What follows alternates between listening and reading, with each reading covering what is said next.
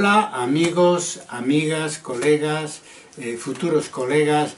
Quiero hoy eh, presentaros eh, mi serie de 44 vídeos breves, duran entre 10 o 20 minutos, cada uno sobre qué es la historia, sobre el oficio historiador en este cambio convulso del siglo XX al siglo XXI.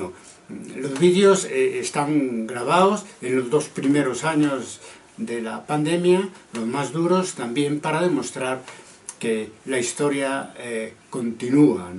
Mm, bien, el nivel de, mis exposiciones, eh, al menos así lo he intentado, es de, posgrado, de doctorado, pero también asequible a cualquier interesado sobre cómo se escribe o se debe escribir la historia en este eh, nuevo eh, siglo.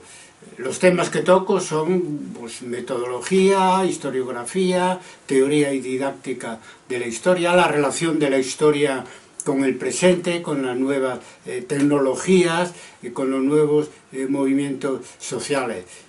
He hecho un esfuerzo, espero haberlo conseguido, para que las exposiciones sean claras eh, y, concisas.